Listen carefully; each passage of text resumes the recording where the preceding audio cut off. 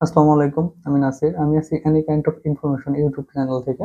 গণপ্রজাতন্ত্রী বাংলাদেশ সরকার, বাংলাদেশ রেলওয়ে রেলপথ মন্ত্রণালয়ের অধীনে প্রশাসন এক অধিশাখা হইতে নতুন পাঁচটি পদের বিজ্ঞাপন প্রকাশ হয়েছে। যে পাঁচটি পদের বিজ্ঞাপন প্রকাশ হয়েছে সেই পদের নাম বেতন কত কোন কোন জেলা থেকে আবেদন করতে পারবেন, কতগুলা পদ আছে, কতগুলা পদে আবেদন করতে পারবেন, বিভাগীয় কোনো ক্যান্ডিডেট আবেদন করতে পারবেন কিনা সেই বিষয় নিয়ে আমি আলোচনা করব। এক নম্বরে যে পদটি রয়েছে ষাট মুদ্রা আক্ষরিক কাম কম্পিউটার অপারেটর এর বয়সীমা হচ্ছে আঠারো থেকে তিরিশ।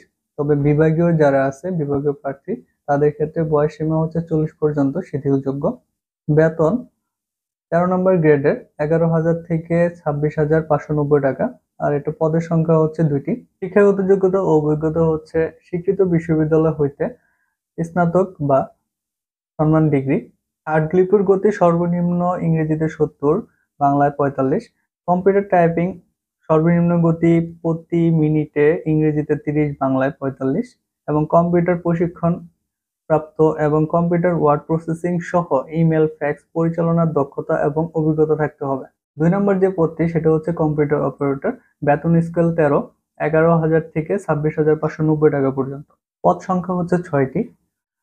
এর শিক্ষাগত যোগ্যতা এবং অভিজ্ঞতা হচ্ছে স্বীকৃত বিশ্ববিদ্যালয় হইতে বিজ্ঞান বিভাগে স্নাতক সম্মান বা সম্মানের ডিগ্রি এবং সরকারি প্রশিক্ষণের কম্পিউটার পার্সোনাল নিয়োগ বিধিমালা দুই হাজার উনিশের তফসিল দুই অনুযায়ী কম্পিউটারের মুদ্রাক্ষের প্রতি মিনিটে বাংলায় পঁচিশ এবং ইংরেজিতে তিরিশ গতিসহ সংশ্লিষ্ট বিভাগে স্ট্যান্ডার্ড অ্যাপটিটিউড টেস্ট এর উত্তীর্ণ হতে হবে।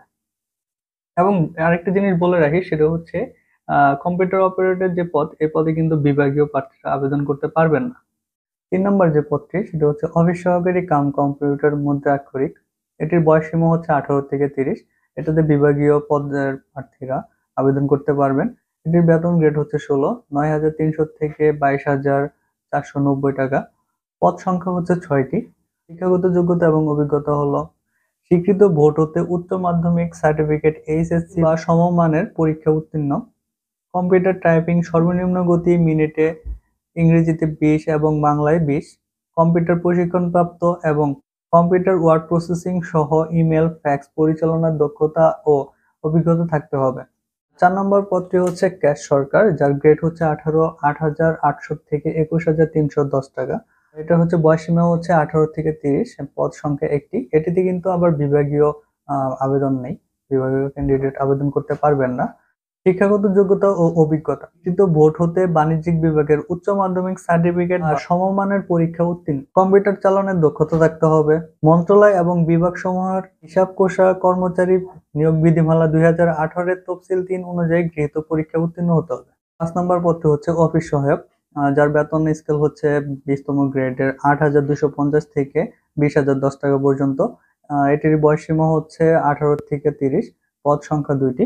এটি শিক্ষাগত যোগ্যতা হচ্ছে মাধ্যমিক স্কুল সার্টিফিকেট, এসএসসি ও সমমানের পরীক্ষা উত্তীর্ণ।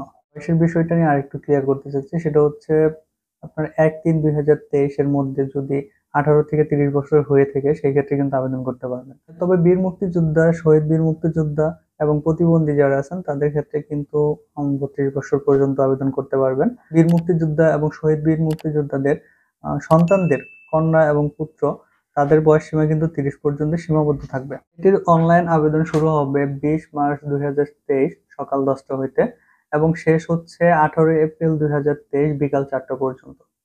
সাধারণ জেলা কোঠায় যে সমস্ত জেলা আবেদন করতে পারবেন না, এক নং থেকে তিন নং পর্যন্তর মধ্যে। তারা হচ্ছেন ঢাকা, টাঙ্গাইল, নারায়ণগঞ্জ, বামনবাড়িয়া, রাজবাড়ী, চাঁদপুর, হবিগঞ্জ, দিনাজপুর, খুলনা, নাটোর, ময়মনসিংহ, রাজশাহী, পটুয়াখালী, ঝালকাঠি কক্সবাজার জেলার প্রার্থীদের আবেদন করার কোনো প্রয়োজন নেই। তবে প্রতিবন্ধী এবং ইতিম যারা আছেন, তাদের জন্য সকল জেলার প্রার্থী আবেদন করতে পারবেন। এবং চার নং ও পাঁচ নংয়ের ক্ষেত্রে যেসব জেলা যেসব জেলার থেকে আবেদন করতে পারবেন না, তারা হচ্ছেন ঢাকা, চট্টগ্রাম, ব্রাহ্মণবাড়িয়া, গাইবান্ধা, কুড়িগ্রাম, গাজীপুর, বগুড়া, পাবনা, সাতক্ষীরা, ময়মনসিংহ, কুমিল্লা, গোপালগঞ্জ, নরসিংদী, চট্টগ্রাম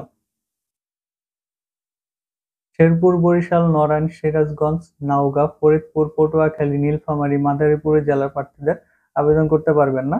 এতিম ও শারীরিক প্রতিবন্ধীরা যে কোনো জেলা থেকে আবেদন করতে পারবেন। যারা আবেদন করতে ইচ্ছুক more dot Teletalk dot com dot BD ওয়েবসাইটে যে আবেদন করতে পারবেন, খুব সহজেই।